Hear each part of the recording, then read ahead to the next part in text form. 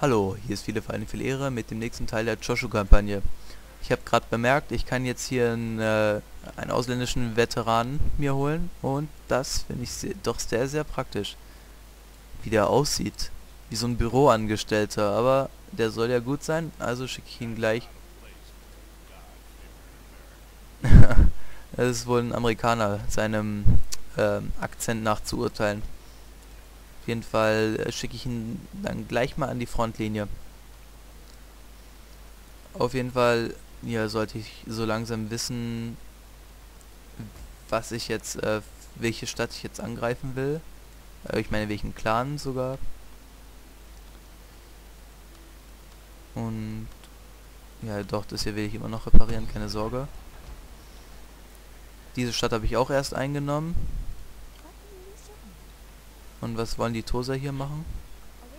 Oh, die wollen hier diese Stadt der Sasayama einnehmen. Aber ob sie das schaffen, das sei mal dahingestellt. Auf jeden Fall beenden wir jetzt mal die Runde.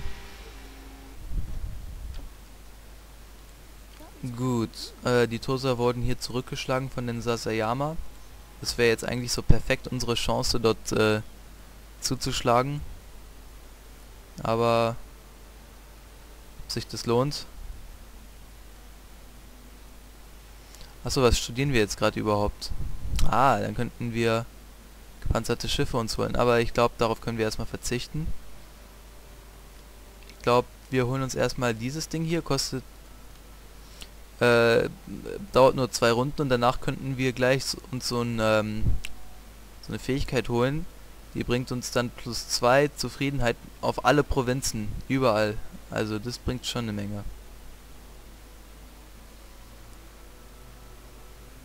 Ja, das machen wir dann und dann wahrscheinlich diese Fähigkeit hier, weil die bringt uns noch ein bisschen mehr Kohle. Und Kohle ist immer gut.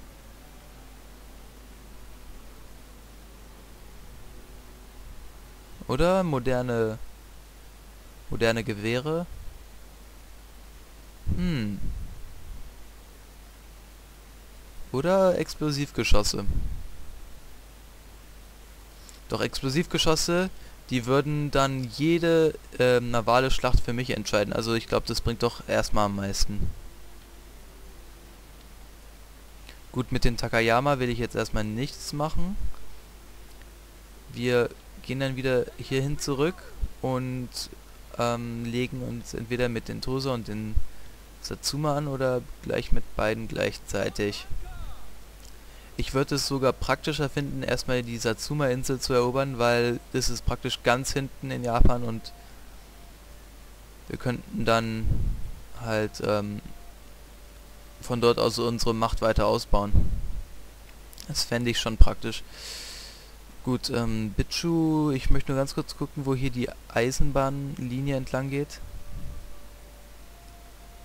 Hier geht sie weiter und dann hier nach oben. Wer immer diese Provinz hier hält, die hier in der Mitte, das ist ein sehr glücklicher Kerl, weil hier treffen sich, hier irgendwo treffen sich ja beide Telegrafenlinien. Oder hier, hier trennen sie sich doch. Na gut, ich weiß jetzt auch gerade nicht. Dann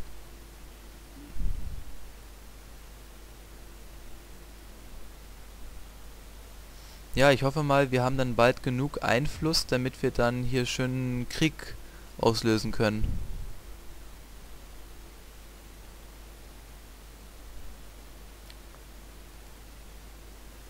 Ja, dauert nicht mehr lange auf jeden Fall. Und wir haben noch 10 Jahre Zeit, also alles ganz locker. Wie lange brauchen wir noch für die britische Handelsmission?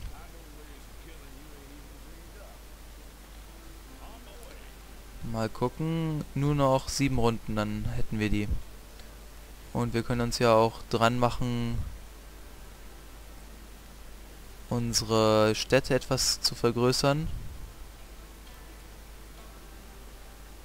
Hier vielleicht erstmal die Stadt Aki, weil ist meine Lieblingsstadt ab jetzt.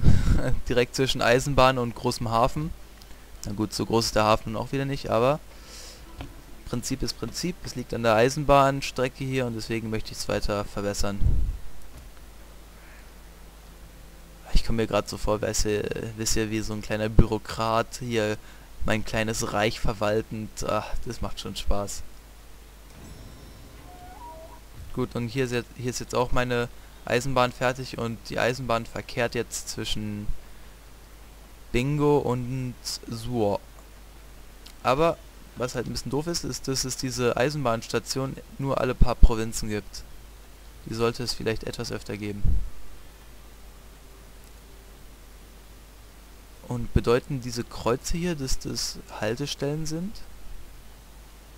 Ich denke eigentlich schon.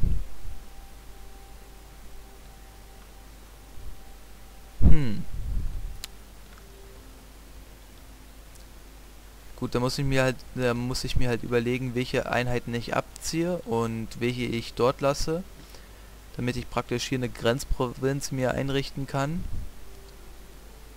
Und dann oder mal gucken, welche welche Provinz sich eigentlich gut eignet, um sozusagen einen Angriff abzuhalten. Also ich bräuchte dann schon diese Provinz Harima hier, das wäre sehr praktisch. Dann könnte ich jeden möglichen Angriff des Gegners praktisch auf zwei Seiten beschränken. Das wäre schon mal nicht schlecht. Aber die Tosa möchte ich jetzt erstmal nicht angreifen, die sind doch noch etwas zu stark.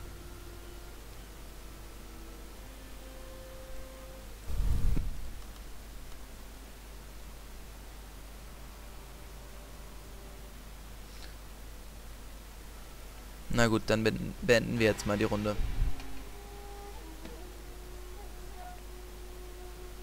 Ah, diesen Satsuma muss mal eine Lektion erteilt werden, die sie so schnell nicht vergessen. Am besten wäre es, wenn ich so ein geiles britisches Panzerschiff bekomme. Dann könnte ich praktisch ungestraft da überall rumflitzen äh, und äh, sie kaputt schießen. Das wäre doch sehr begrüßenswert.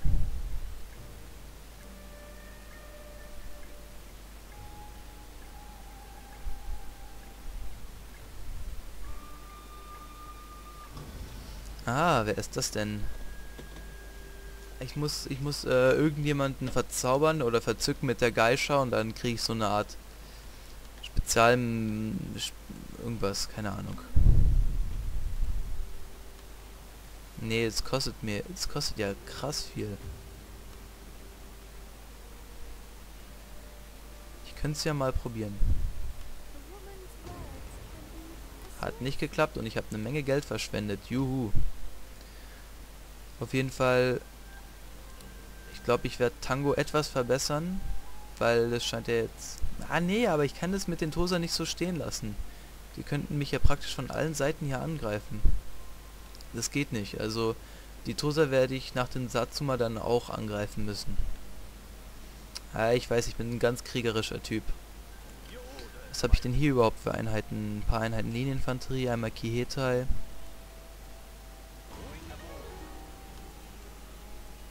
Gut, auf jeden Fall. Die sind jetzt hier und die können auch gleich nach Nagato.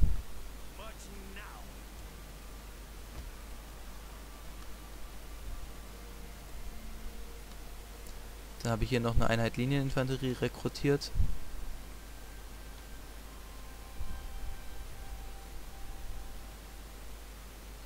Und ja, ich glaube, ich baue hier noch einmal die Baracken hin, weil wenn jetzt ein Krieg mit den Satsuma kommt, dann wäre es doch sehr nützlich in Nagato noch äh, so eine Art ähm, Rekrutierungsstelle zu haben, wo ich auch Gehetai, Scharfschützen, das alles nachrekrutieren kann.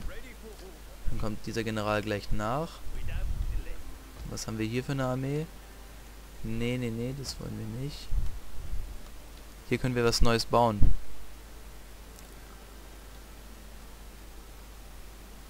Hm.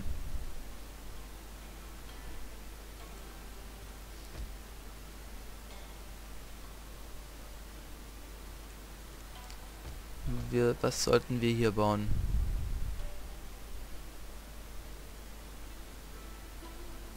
Vielleicht so eine Artillerie irgendwas? Ah, so, apropos Artillerie. Dann rekrutieren wir mal welche. Hier Parrot Guns. Sobald die dann ankommen, hier in Nagato geht's los. Also drei Runden brauche ich zum Rekrutieren und dann auch noch die Zeit, die die brauchen, um dort hinzugehen. Das kann ja dauern. Was können wir noch machen? Nicht viel, wie es mir scheint. Gut, jetzt kann ich diese Provinz auch endlich wieder besteuern. Sehr, da, darüber bin ich sehr froh. Und ich denke mal, wir könnten hier unsere Streitmacht etwas aufteilen. Und zwar nehme ich hier meine, mein, ähm, den Kern meiner Truppe. Ich lasse hier diese drei Einheiten, die lasse ich dort. Gut, die Provinz ist immer noch zufrieden, zum Glück. Und die kann ich auch äh, später noch ein bisschen verbessern und so, damit äh, da kein Gegner so schnell die überwindet. Und dann schicke ich mal diese Armee auch in Richtung Richtung Satsuma. Oder genau, ich hol die mal hier mit der ähm, ich hol die mal mit der Flotte hier ab. Dann könnte ich die schneller ähm, hier durch die Gegend schicken.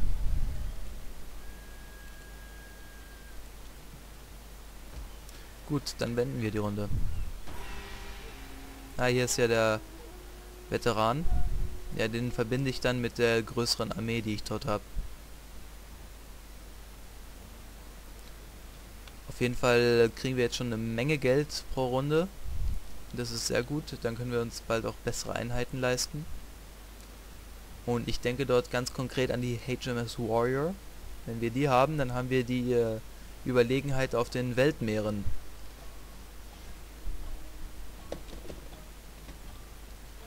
Ja, macht mal schneller jetzt hier. Wir haben auch Sommer. Okay. Aber ich denke mal, wir werden es nicht schaffen, mit dem ausländischen Veteranen rechtzeitig anzukommen. Deswegen schicke ich mal die Flotte jetzt hier hin. Und der darf jetzt hier rein. Was hat der eigentlich für Effekte? Darf ich das nicht erfahren, was der für Effekte hat? Egal. Weiter geht's dann. Richtung Satsuma.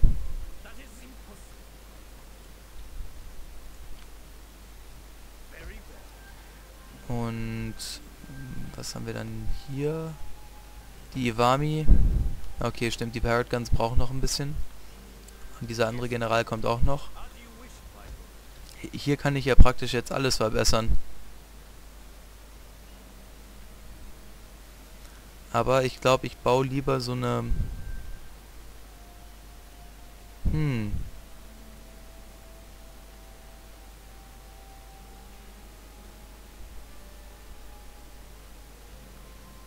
Was baue ich hier? Ich glaube eine Polizeistation. Das werde ich ganz dringend benötigen, falls ich dann eine Republik gründe.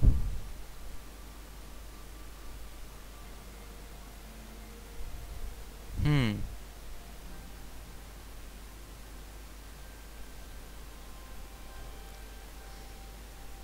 Ich glaube...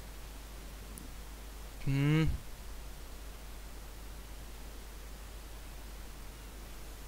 Das hier ist der beste Kompromiss eindeutig. Dann hole ich mir mal das hier. Also Aki ist auch eines unserer am äh, unsere am schnellsten ähm, wachsenden Städte. Und hier, ich gebe den auch einen, lieber erstmal einen Handelshafen. Weil das bringt doch äh, erstmal mehr. Dann kann ich hier das Handelsvolumen vergrößern. Und dieser Hafen ist ja schon der größte, den ich habe. Auf jeden Fall wäre es das erstmal für diesen Teil der Kampagne und dann bis zum nächsten Mal.